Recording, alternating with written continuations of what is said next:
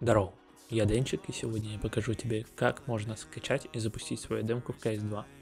Я, наверное, как и многие, думал, что это невозможно, так как не видел ни одного руководства, видео или статьи на эту тему. Однако, копаясь в самой игре, я заметил, что эта функция все-таки присутствует. Давай я тебе покажу, как это можно сделать.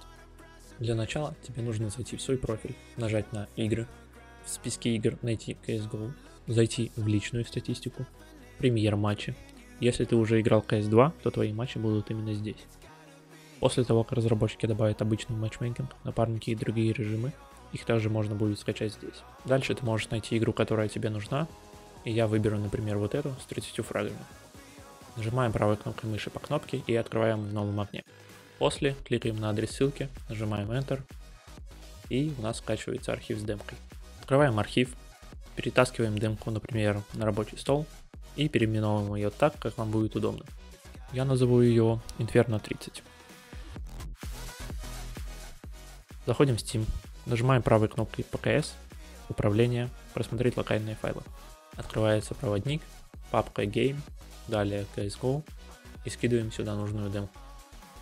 После всех манипуляций запускаем игру и открываем консоль. Пишем Play Demo и если вы сделали все правильно, то название вашей демки появится здесь. Если названия нет, то вы где-то ошиблись, посмотрите видео заново и у вас все получится. Нажимаем на название демки, Enter, и у вас запускается сама демка.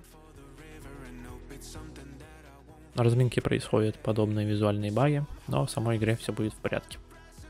Теперь мы можем опять открыть консоль и ввести демо UI. Открывается великолепный плеер демки, который очень удобный и не лагает в отличие от CSGO.